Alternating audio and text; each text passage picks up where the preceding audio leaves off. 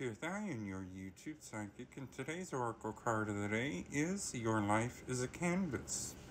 You're the artist of your life, and your life is a canvas. Take responsibility for your ability to create. Earth is known as a planet of manifestation. Your present moment is based on your past thoughts and beliefs. Your current thoughts determine your future. What kind of life do you want to create for your future? What are you being called to create? Reconnect with your manifesting power and align your thoughts, feelings, and actions with the vibration that matches them.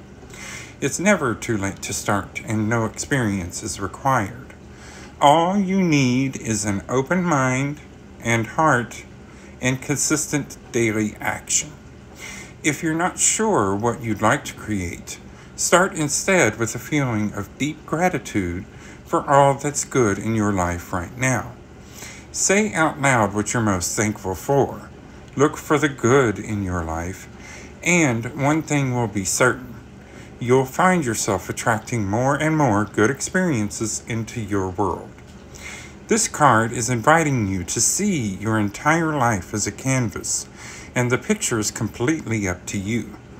Cover it with your thoughts and feelings. Create the life that you most long to live. You may also be called to be more creative in your everyday life. What have you been called to create? How can you express yourself more creatively? So, today, let's focus on the project of our lives. Take your canvas and use the most vibrant and beautiful colors you can imagine. Let's paint a picture that even Michelangelo would be envious of. We're in control of what we put on our canvas. Choose to paint with love, happiness, and positivity. Thanks and have a great day. Uh, and today I got pretty far through it before I started stumbling with my words. So enjoy this blooper. Tirthalion, your YouTube psychic, and today's card of the day is Your Life is a Canvas. You're the artist of your life, and your life is a canvas. Take responsibility for your ability to create.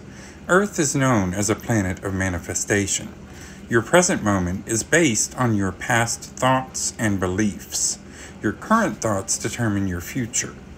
What kind of life do you want to create for your future? What are you being called to create? Reconnect with your manifesting power and align your thoughts, feelings, and actions with the vibration that matches them. It's never too late to start, and no experience is required. All you need is an open heart and mind and consistent daily action. If you're not sure what you'd like to create, start instead with a feeling of deep gratitude for all that's good in your life right now.